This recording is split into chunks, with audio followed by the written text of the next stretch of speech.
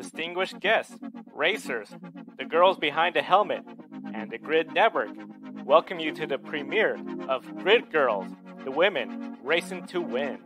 Tatiana Calderon made her Super Formula debut. We'll tell you all about her first race over in Japan. Jennifer Jo Cobb and Natalie Decker both raced at Gateway. We'll recap the NASCAR race weekend.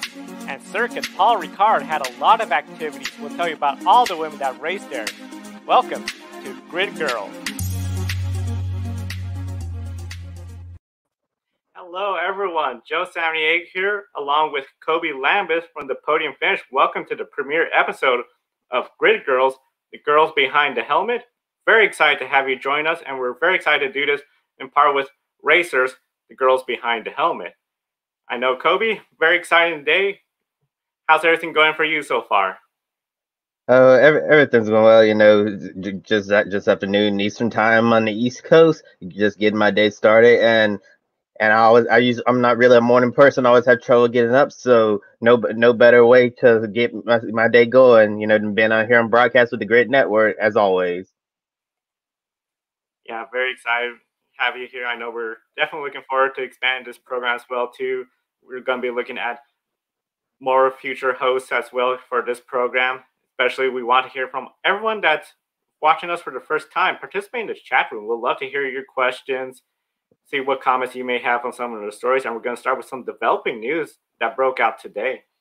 Yeah, big news coming out of the Formula One world. You know, the Williams Formula One team will see the family step down after the upcoming Italian Grand Prix. The team was sold to a U.S. investment group called Dorilton's, and and Dorilton's actually encouraged Claire Williams and the rest of the Williams family to stay involved, but the family decided that it's an appropriate time to step away from this from the team, and you know to see Dorilton's lead the team. You know with you know, with with the with the Williams name is you know going to be really crazy. Remember we saw the Sauber name go away and become Alfa Romeo Racing, and it's going to be really interesting to see what's going to happen with Williams. You know, well, one of one of the sports you know most historic teams for many years. And Joe, a lot of praise and thank you messages have been expressed to Claire Williams today, especially as being the only female F1 team boss. How does her accomplishment further the advancement of women in managers positions in motorsports and sports in general?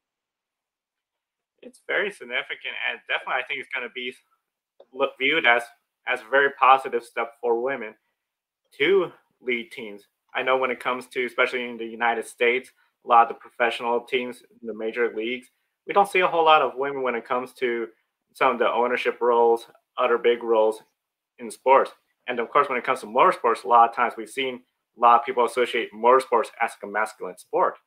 That's not the case, though. With motorsports, any person could, you know, organize a real run team organization and compete at the top level. And I think with Claire Williams, what they've done, keeping the women's name running, it's been a struggle the last couple of years.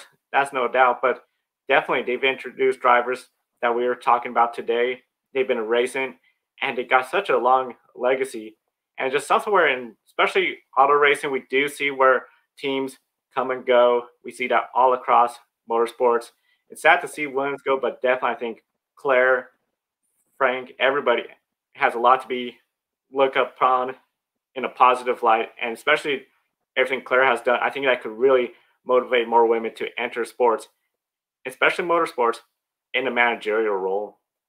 Yeah, I totally agree with everything you said right there. Claire Williams deserves a lot of credit for for working so hard and being extremely successful, you know, in a male dominated environment. And I believe that Claire Williams being as successful as she's been, you know, despite you mentioned they haven't really had the results in recent years, but but but Claire but Claire Williams, you know, still she she held she held quite a challenging position, you know, not you know for anyone and and Claire Williams was able to yes she found found some success and also things haven't been great in recent years but that doesn't take away from all of her hard work over at, at Williams and and and, and certainly it's going to be interesting to see what the future of Williams looks like. And and and that's switching gears over to Super Formula. We're, we're going to discuss Tatiana Calderon, who made her debut. And as we talk about each driver, we're going to display their Twitter or Instagram usernames so you can follow each racer throughout the season on social media.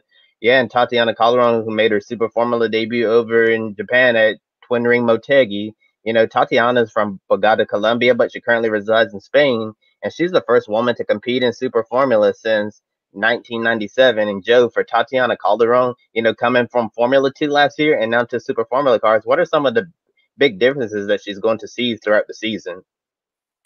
Well, definitely some of the big difference I think she'll see is how Super Formula, when it comes to the Super Formula name and the reputation globally, it has a big following. Super, Formula 2 does have a good sized following. They are the feeder system a lot of drivers use to get into Formula 1. Still, it seems like where, you know, with Formula 2, they have the two races in a weekend, Super Formula 1 race. But the difference is, I think the big thing you'll notice is some of the fan following. I feel when it comes to Super Formula, they got a lot more passionate fan following globally. People are really into that series. And then, of course, recently, too, Super Formula introduced some changes where they eliminated mandatory pit stops. So it's really going to be, I think, a big test when it comes to driving, especially driving where you're not making the pit stops. It's going to sort of come down to tire management. It's going to be really interesting to see how Tatiana handles everything.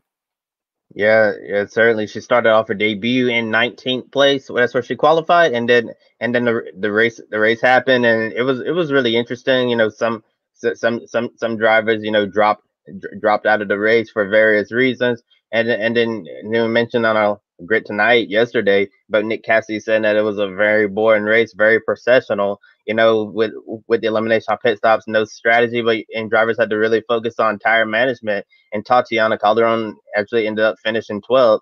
And and one of the biggest things I like to note from her Super Formula debut, she held off Naoki Yamamoto, who's one of the best drivers in Japan. Yeah, it was it was just, you know, really, you know, awesome for Tatiana to be able to hold off such a talented driver like Naoki Yamamoto. And, and remember last year with AlphaTauri, Naoki Yamamoto got to drive in the in a free practice session at the Japanese Grand Prix at Suzuka. Yeah, for yeah for the AlphaTauri, you know, and and he and he and he's certainly you know such a talented driver. And Tatiana been able to hold off uh, Naoki Yamamoto with all the with all of the you know accomplishments on his on his resume. It was it was it was certainly uh I felt like that was a big win for Tatiana early on in her young super formula career. And the next super formula race is gonna is gonna is gonna take place on the weekend of September 26 and 27 when when the series heads to Okayama International Circuit. You know, with Tatiana coming home in 12th, what challenges is she gonna face as a rookie throughout the season? The big challenge, I think, is going to be consistency, trying to be up there scoring points. Of course, with the changes, as you mentioned, some drivers are not a huge fan of it. Others, they have talked about this is really going to put in the hands of the drivers. So it's really going to display, you know, when it comes to the driver skills, race after race, being consistent in taking care of the car, moving forward, making the car better too. It's going to be really interesting. I think that's going to be one of the big challenges any rookie would face is pulling off consistently good runs. And I know a lot of folks you're going to be watching Tatiana. She had tested Formula One with Alfa Romeo. Definitely, I think there's going to be a lot of eyes on her and seeing how she could handle the Formula Two season. Yeah, definitely. I, I feel I feel like that it might be a little more challenging for Tati for, for Tatiana as a rookie this season. You know, with, with the with the elimination of pit stops, you know, there's not going to be any strategy or many opportunities to try to move your way through the field by using the overcut or the undercut, whatever strategy the team is using. But I feel like, you know, in Formula Two, tire management is really key over there. And I and since tire management is gonna be, be key in super formula this season with with the elimination of pit stops, I feel like spending a year in Formula Two is certainly gonna help Tatiana out in that area. Yeah, it's definitely gonna help out in that area. It's gonna be really interesting to see how all the racing turns out. Now, one of the big things, of course, this past weekend, we had the NASCAR Gander RV and Outdoor Truck Series racing, and we had two racers there, Jennifer Jo Cobb and Natalie Decker. It was the CarShield 200 at Worldwide Technology Race Gateway Raceway. Jennifer Jo Cobb, she was running in the mid pack area, but then she had a front tire go down her and she went into the turn two wall. She was done for the day. Natalie Decker, this was her ninth start of the season. She finished 28th to, in the Truck Series race. The next race for the Truck Series is September 6th at Darlington. This is the first time since 2011 the Truck Series will be racing at Darlington Raceway. They're going to be racing the same day, but before the Southern 500. Jennifer Jo Cobb is on the entry list to race at Darlington. When it comes to Darlington, especially for the Truck Series race, what do you see as going to be a big factors Truck Series drivers, including Jennifer Jo Cobb, will be facing since they haven't been to Darlington since 2011? Oh yeah, Joe. For any driver, you know, Darlington is what they call a driver's track. They they, they call it the Lady in Black. The Dar- Darlington is certainly one of the more challenging circuits on the on the on the NASCAR schedule, and I and and, it, and I think it's gonna, I think it's certainly going to be a challenge for some of the drivers in the field this weekend as they head as as they as they head to Darlington. But you know, Jennifer, Jennifer Jo Cobb, she's she's been in the sport for a long time, you know, as a as a female team owner, and she deserves a, and she deserves a lot of credit for being able for you know being able to stick around this long on her team and and just keep grinding in the truck series. Yeah, so Jennifer Jo Cobb's been a been a regular in the truck series for quite a number of years now, and Natalie Decker, she's still very young in her career. And and certainly this season running with Niece Motorsports, Natalie's getting a lot of track time and experience as they try to help her develop her skills. Yeah, Natalie, very young racer, a lot of time for her to hone her skills, get better and better with that truck series, and keep climbing the ladder.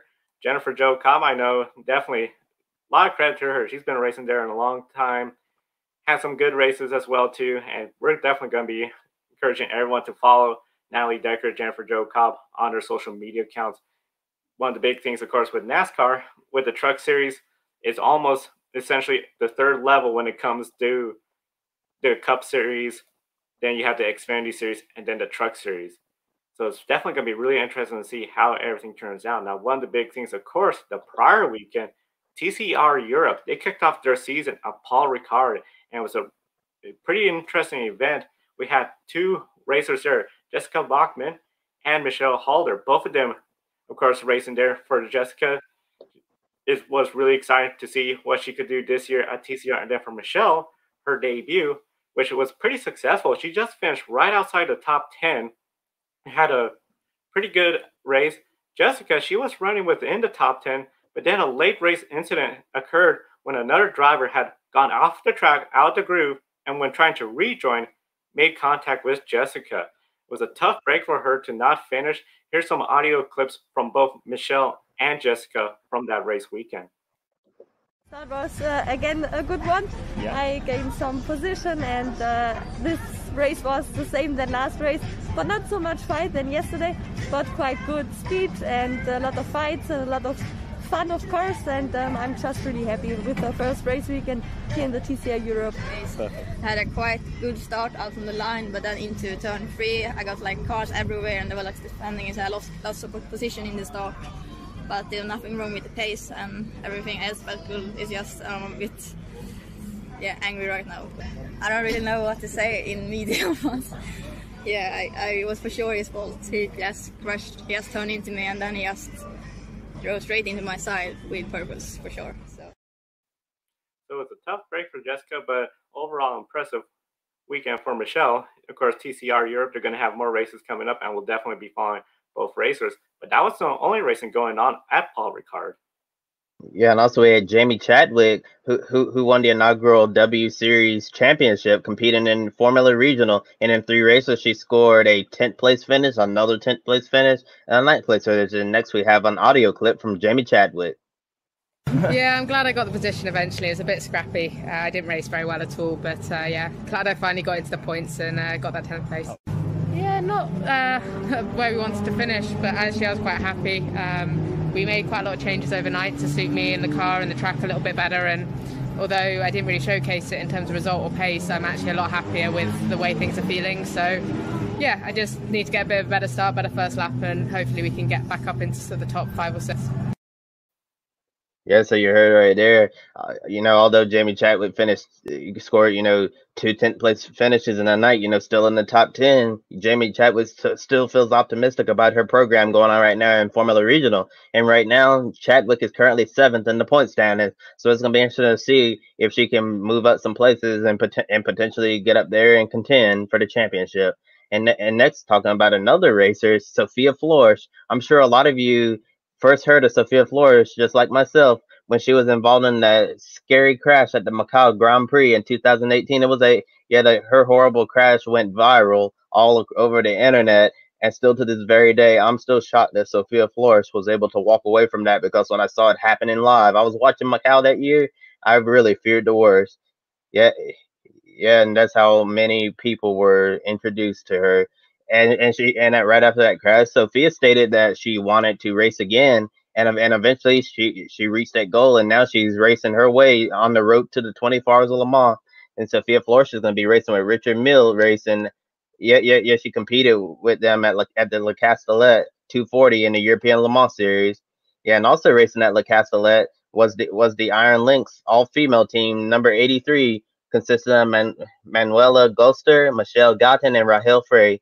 And in the race, Sophia Floersch' team finished 11th place overall and in class in LMP2. Yeah, and then and then the Iron Lynx team finished 23rd overall. And Joe, a lot of people are comparing Sophia Floersch' path to Jamie Chadwick. What similarities do, can you find between the two racers? So definitely some of the similarities between the two racers is essentially their climb up as they progress. And Jamie Chadwick, of course, we know doing a lot of the open wheel racing. When it comes to Sophia, very much the same open wheel race of Formula Three.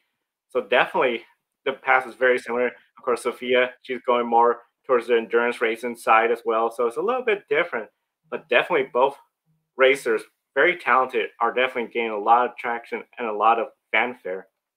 Yeah, yeah, definitely. It's gonna be interesting following Jamie Chadwick, who's already seen a lot of success, and see if Sophia Floersch can find the same amount of success as well. And yes, we certainly have a lot of upcoming talented female racers out there, and be and be sure to follow racers, the girls behind the helmet on Twitter at be behind the helmet. Definitely encourage everyone to follow them. They're one of our partners that make this program possible, and some of the upcoming races we do have all over. You can also find on their Twitter account as well Lena Bühler, she'll be racing in Formula 4 in Italy this upcoming race weekend, excuse me, in Spain. So that's going to be really exciting. Encourage everyone to follow her. Abbi Pulling, of course, the British driver, very young in age. She'll be racing her Formula 4 debut as well. And then over in Italy, we have Hamda Al Qubaisi, who is going to be racing as well. So she's going to be somebody we're definitely going to be following. Everybody that we're following, as well as the racer behind the excuse me, racers, the girls behind the helmet, they'll be following as well, providing updates throughout the race and season. So very, very exciting time. And then of course some of the upcoming races, Sophia will be racing as well in the Formula 3 final round in Monza and Mugello. That's going to be two really big races. Simona de Silvestro, she's making her one-off debut when it comes to essentially GT World Challenge at Nürburgring Jennifer Jo Cobb, as we mentioned, she's going to be racing the Truck Series at Darlington. And then some big news that came out yesterday as well. Vicky Piria, Formula Renault, Europe Racing, and Nürburgring, she's going to be substituting for another driver that was injured. So it's really exciting to see her again the call to substitute for another driver that was going to compete but unable to. Kobe, Vicky ran the W Series, for fans not familiar with how similar the Formula Renault and the W Series are, are, I know a lot of people see the cars as they look the same, but a lot of times they see it as the same when it comes to the two cars. Oh. How do you feel Vicky is going to essentially handle the race, considering the cars look the same, they almost act the same as well? Well, well, well, you know those cars over there. You know, I, I feel like a lot of the cars, you know, they, they may look the same, but they certainly don't handle the same. I think you just have to just go out there and and do the best you can and try to adapt. And you know, a lot, you know, most drivers when they're coming up through the ranks, they they they have to be they have to be able to adapt to to to different vehicles and I and I'm sure that Vic that Vicky's going to be able to do that because a lot of other drivers are able to succeed as well with that. And I and I and I certainly think that that that that Vicky's going to do a fine job. Yeah, I think Vicky will do a pretty good job, especially a lot of people when it comes to the cars, they have a lot of similarities. They're almost the same, but of course the differences will be the track they're in. It's going to be a very different track, very different atmosphere when it comes to racing around Nürburgring compared to what they've seen in the W Series. We encourage everyone be sure to follow racersbehindthehelmet.com, follow and like their social media account, and definitely subscribe to the Grid Network for more racing programs, including future episodes of Grid Girls, where we're going to have more folks on the air with us. Yeah, and we're very excited to start this new partnership with Racers Be- Behind the Helmet, and we're looking forward to reporting on more women r- racing all across the globe. And before we go off here, do you have any final words, Joe? Um, definitely just want to thank everyone for watching the first episode. I know we're definitely working with racers, the girls behind the helmet, to make this show better and better each and every week. We're definitely going to be reaching out to more folks to work with us on this program, make it better, keep improving it every week. And I think it's going to be really exciting to see the growth of this program. And then just definitely encouraging people to follow all the women out there racing. I know we've been displaying their Twitter handles as well as their Instagram account if they don't have a Twitter Twitter account. And definitely, we're going to be just really excited to see the growth of the popularity of women racing. Yes, yes, certainly. Very, very excited to get this program going with Racers Behind the Helmet, focusing on on female racers all across the across the globe, and I'm sure all of the female racers they're going to inspire other young females as well to get involved and get into motorsports. See what Claire Williams has done, and then I also forgot to mention we were talking about Williams. You know, Susie Wolff, who's current is currently the team boss over at Venturi. You know, doing incredible things in, over in Formula E and and then a lot a lot of others well. You know, Danica Patrick did a lot for women in racing and, and encourage encourage them to get involved in motorsports to showing that they can that they can certainly achieve their dreams and anything is possible. Anything is possible. Definitely, motorsports is a sport where it doesn't matter who's behind the wheel. If they put in the time and effort to hone their skills, they could win. For Kobe Lambeth at the podium finish, I'm Joe San Diego. Thank you for watching. Have a wonderful day. We'll see you next time.